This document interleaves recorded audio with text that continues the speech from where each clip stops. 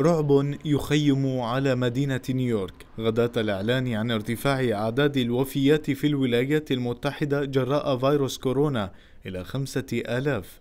وتجاوز البلاد عتبة المئتين وخمسة عشر ألف إصابة?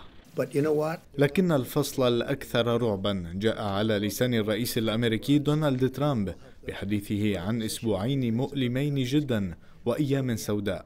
ستشهدها البلاد في ظل المعطيات الحالية. وبالحديث عن هذه المعطيات فيكفي أن تعرف أن أعداد الوفيات وبحسب تصريحات رسمية يتضاعف كل 72 ساعة في ولاية نيويورك وحدها. كل هذا والأسوأ لم يأتي بعد بحسب تصريحات تصدر عن البيت الأبيض الذي توقع بأن كورونا وحتى في حال الالتزام بالقيود المفروضة سيفتك بنحو يتأرجح بين 100 ألف إلى 240 ألف شخص في أمريكا. أما بالنسبة للإجراءات الاحترازية فشرطة نيويورك تبدأ بفرض مخالفات قاسية على المخالفين لقرارات الحجر. تزامنا مع تذكير ترامب بأن أجهزة التنفس الصناعي ستتوافر بكثرة عما قريب.